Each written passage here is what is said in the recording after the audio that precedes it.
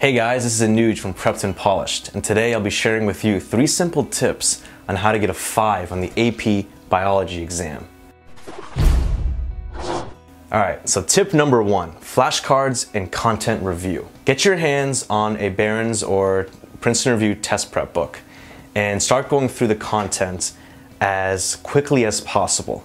Focus on those topics that are really giving you trouble, and remember the goal here is just to refresh. You've already done most of the learning during your AP exam course.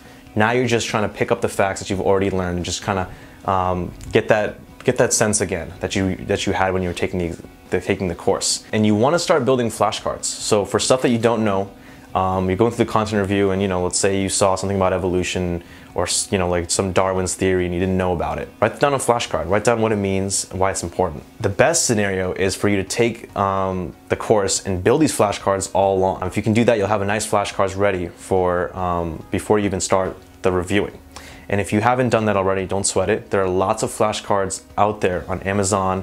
Um, if you Google them, you'll see it. it doesn't really matter what prep companies they come from. Um, they're all very similar. And what you want to do is just get those flashcards of uh, stuff that you don't know. So even when you when you have the deck in front of you, go through them really quickly and stuff that you think that you've got it down pretty good, just throw those cards out. You don't want to be reviewing stuff you already know. During the content review and um, of any type of exam, you want to focus on stuff that's giving you trouble and you want to be very efficient with that. Tip number two. Tip number two is explain systems out loud. There's so many systems and concepts being tested on the AP Biology exam. And for here, I've gotten a few just listed here. You see the digestive system, blood flow, like how the blood flows through the heart um, and the body, what's the pathway, protein synthesis, um, you could say DNA or RNA synthesis as well, um, eukaryotes versus prokaryotes. These are just different concepts and systems that the AP Biology exam tests. And what I mean by explain it out loud, I mean is practice as if you're teaching um, someone else this concept, okay? So for the digestive system, explain how food is digested throughout the entire body, what organs it goes through, what different type of enzymes are involved, um, what's the process, is it proteins that are being degraded versus fats versus carbohydrates.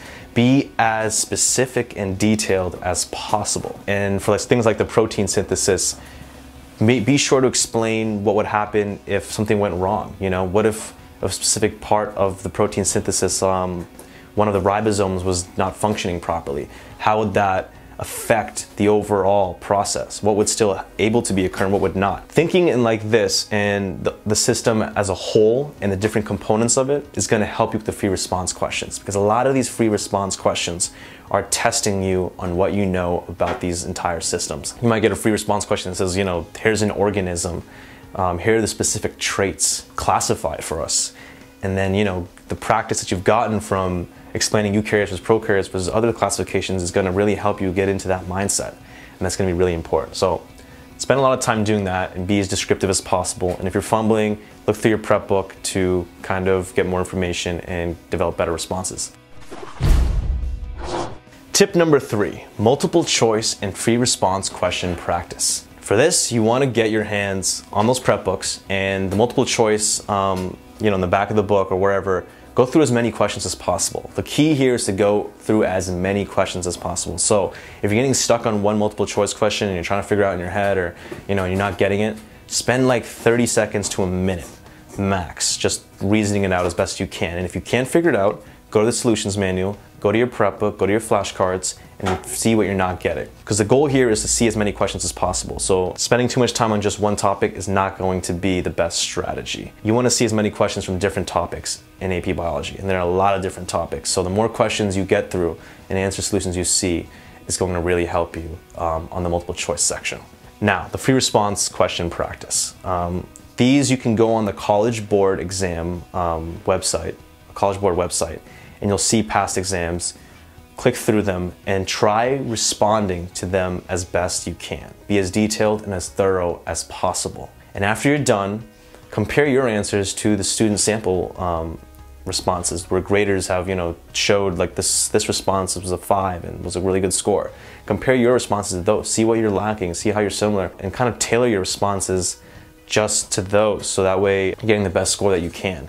And remember, those flashcards that you're building, you want to do that all along. When you're doing these multiple choice questions, you're getting them wrong. When you're getting the free response questions, you're missing things out. Keep building them and review them, you know, two to three weeks out before your exam and every night as often as possible. 30 minutes, I'd say, a night.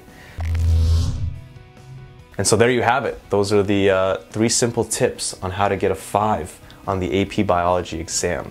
Tip number one, build flashcards and go through the content review as quickly as possible. Tip number two, explain systems out loud as if you're teaching someone who's never even heard of biology before.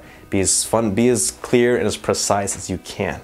Tip number three, do a lot of practice, a lot of multiple choice practice, a lot of free response question practice. Tip number three is where the majority of the learning is going to be is going to occur. And so you want to spend at least 60 to 70% of your time studying just on tip number three.